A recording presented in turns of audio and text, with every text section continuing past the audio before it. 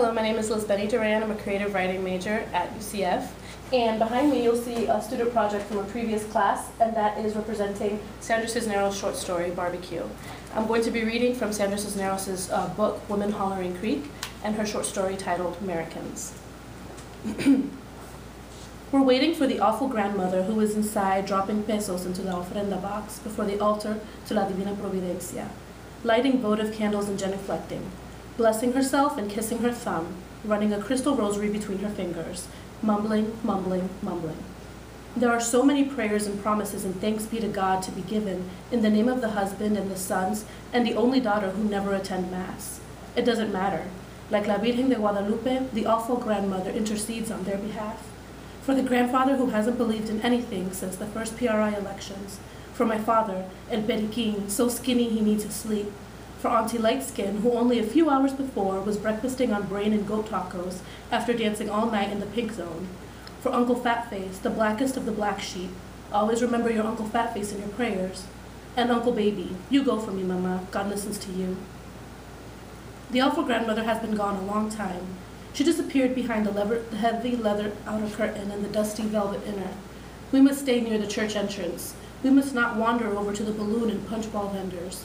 We cannot spend our allowance on fried cookies or Familia Burron comic books, or those clear cone-shaped suckers that make everything look like a rainbow when you look through them.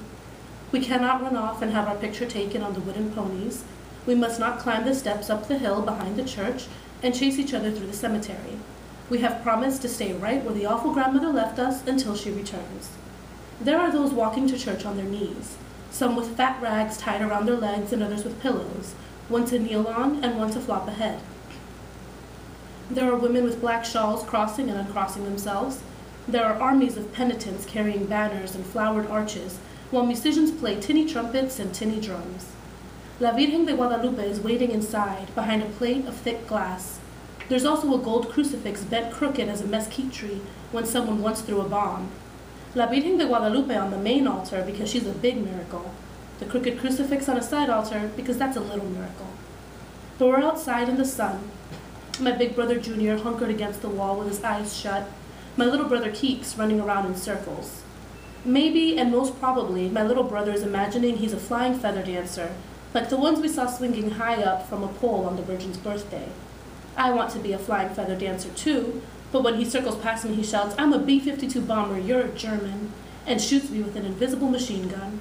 I'd rather play flying feather dancers, but if I tell my brother this, he might not play with me at all. Girl, we can't play with a girl. Girl, it's my brother's favorite insult now instead of sissy. You girl, they yell at each other. You throw that ball like a girl. I've already made up my mind to be a German when Keeks swoops past again, this time yelling, I'm Flash Gordon, you're Ming the Merciless and the Mud People. I don't mind being Ming the Merciless, but I don't like being the Mud People. Something wants to come out of the corners of my eyes, but I don't let it. Crying is what girls do. I leave Keeks running around in circles. I'm the Lone Ranger, you're Tonto. I leave Junior squatting on his ankles and go look for the awful grandmother. Why do churches smell like the inside of an ear? like incense in the dark and candles and blue glass? And why does holy water smell of tears? The awful grandmother makes me kneel and fold my hands, the ceiling high and everyone's prayers bumping up there like balloons. If I stare at the eyes of the saints long enough, they move and wink at me, which makes me a sort of saint too. When I get tired of winking saints, I count the awful grandmother's mustache hairs while she prays for Uncle Old, sick from the worm, and Auntie Cuca suffering from a life of troubles that left half her face crooked and the other half sad.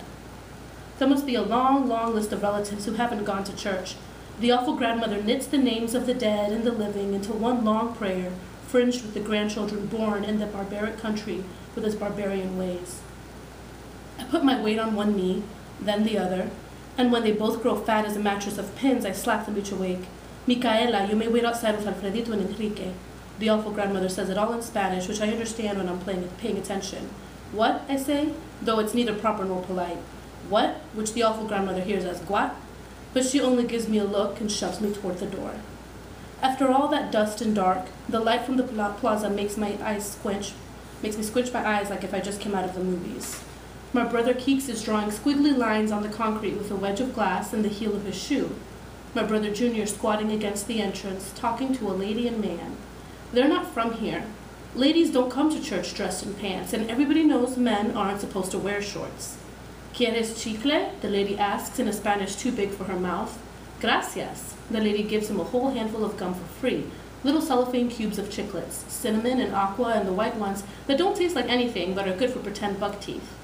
Por favor, says the lady. Un foto, pointing to her camera. Si. She's so busy taking Junior's picture she doesn't notice me and Keeks. Hey, Michelle, Keeks, you guys want gum? But you speak English. Yeah, my brother says. We're Mericans. We're Mericans. We're Mericans. And inside, the awful grandmother prays.